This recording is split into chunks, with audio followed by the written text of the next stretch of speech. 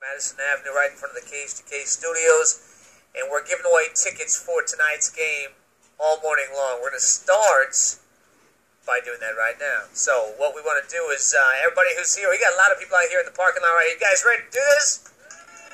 All right, so do you want to come on down? Come on down. We're going to be doing this all morning long. We got lots of tickets to give away. Uh, we'll pick our first name right now, and we'll give away our first pair of tickets to see the Kings and Golden State tonight. And that first name is Chris Lopez. Where's Chris Lopez?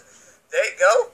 Right on. Oh no no no no! Hold on hold on hold on hold on hold on! Yeah. No no no no no! We this uh, I know this guy. We Yeah. can't we can't. He's a he's a sick. I mean, are you a real Kings fan, Chris?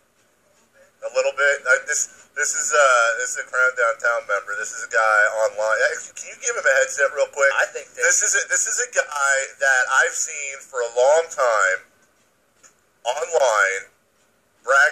his impressions, and I always What? and I always told him that one of these days I was going to throw him on the radio because, amongst others, he says he can do a Grant Napear impersonation.